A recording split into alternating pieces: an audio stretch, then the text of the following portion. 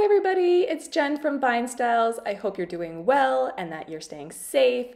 Uh, today I actually lost all of my audio from my clips, but I just wanted to show you all the hard work I did and how excited I am to do this tasting. So let's start. So I just have to do a redo, but that's okay because I really like the wines and I was drinking it off camera anyways. Vlad, you won't believe what Trump just did. Oh my god. So uh, yeah, we'll just continue uh, tasting, which is good. And by the way, uh, Vlad is my husband, and I'm not talking about Vladimir Putin, okay? So you guys actually might remember that we did a feature a couple weeks ago, and it was for the Mas Donís Rosat. The winery is called Celler de Capçanes, and they're from Montsant, Spain. It started with five families back in 1933 and since then, it's grown to about, I think there's 68 wine growers now. Uh, they initially started making kosher wines for the Jewish community in Barcelona, and that actually got them onto the international market.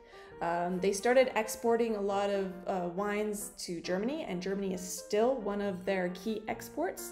They're actually one of the biggest reasons why the Montsant region is now a DO, or a designation of origin.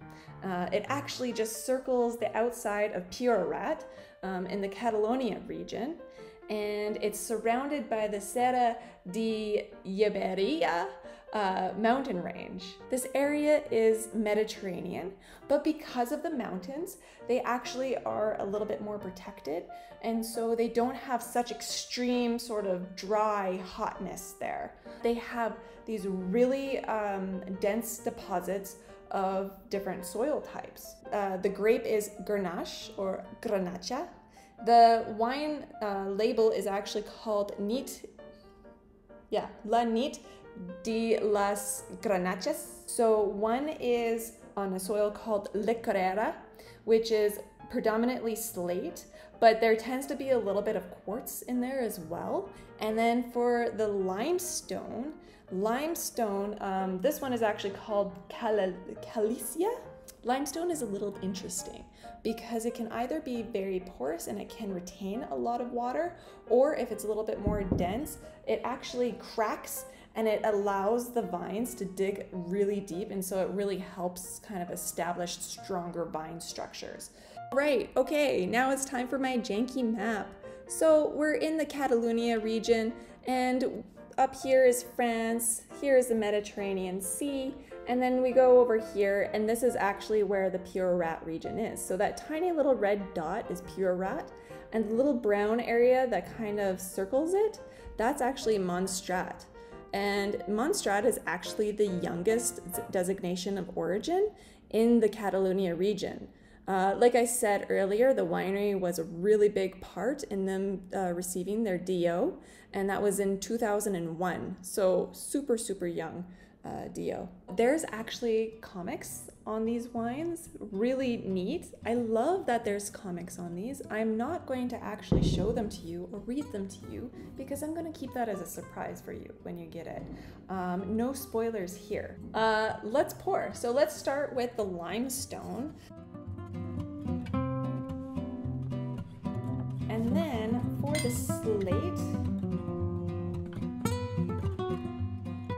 So you can kind of tell the the opaqueness or like the consistency and how concentrated a wine is by how um, opaque or watery the rim is. So for the uh, limestone, I actually found that it tends to be a little bit more watery looking than the slate one. The rim, though it's very similar, it tends to reach the top a little bit more and it tends to be a little bit more opaque. The aromatics of it were a little bit more restrained than the slate one. The slate ended up kind of jumping out of the glass a little bit more to me, and it still does, so yeah. For the limestone, I get a lot of fresh cherry, a lot of uh, strawberry notes, uh, there's some raspberry as well. Yeah, so good acidity. it makes you drool. it's light on the tannins, and so it's not very grippy. Actually, when I taste it, uh, the structure of this wine is very similar or reminiscent of almost like a Burgundian Pinot Noir. So, in the sense that it's lighter, um, it has a very soft tannin to it. Like, there's no grip at the front, anyways. It's lighter on the palate, and there's a lot of red fruit as well. But it still has that little bit of minerality to it, too. Yeah, so this is very easy drinking. I could go out on my patio, I could have it with pork, I could have it with chicken. Super easy to consume. All right, so let's go for the slate now. So on the nose, it's a little bit more aromatic. There's definitely some darker fruit or some riper fruit, um, whereas the limestone had a little bit more fresh or younger fruit. This has a little bit uh, more mature, riper type of fruit. So I'm getting a little bit more of like an apple note to it too. Dark cherry, almost like a um, like a dark cherry syrup I would get. Uh, there's some red fruits on there as well, but there's also some plums. I get spice, I get more peppery sort of note, and maybe some balsamic. Yeah, I think that's what that, it's kind of a between of like a cherry syrup and a balsamic. It's really cool. Yeah, it's really cool. I still like it, so. All right, let's taste.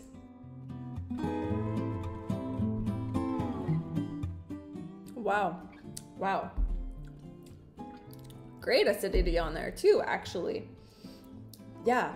So there's more uh, of a grip on the tannins there, so a little bit more structured.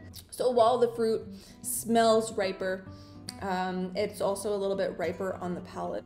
Going into a little bit more of those darker fruits, so a little bit more black plum, black cherry, but I still get a good presence of strawberry and um, uh, raspberry in there. So some red fruits, some black fruits in there. I'm getting more spice as well, which I think is really neat. Uh, a lot more of that cracked uh, black pepper this time for me personally. Uh, typically, Grenache tends to have a little bit more white pepper. This one feels more spicy, more black pepper note to it. Uh, also, a lot more baking spices too, like vanilla, and maybe it's some like, I don't know if it's a nutmeg or something, but I'm just wondering what that is. There's another spice in there I can't quite get. Um, but it's super delicious, much more structured.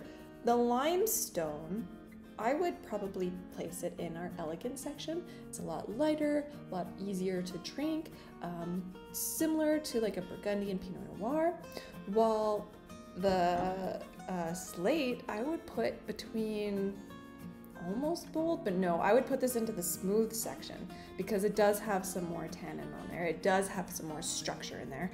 It is a big boy sort of wine. Um, and this would go great with, you could do your like white meats, so your poultry and your pork, but you could also bring this into some red meats as well. So some more beef, some venison type dishes, but awesome like rice dishes, like, honestly, this would go with so many things. It's so food friendly.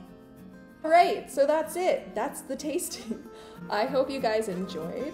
Uh, so just remember that for this Friday feature, uh, the six packs are going to be three of the uh, limestone soils and three of the slate soils, and it's up to you you get to decide on who is the winner, or if you just love them both and you just have them at different times, it's all good. One on the patio, one with dinner, you know, you can choose whatever you want to do. It's all good. Uh, but I was really excited and I am loving this wine, and it was just such a cool tasting, guys. Like, I just love this stuff. Well, I hope you guys take care and that you stay safe. Okay, bye.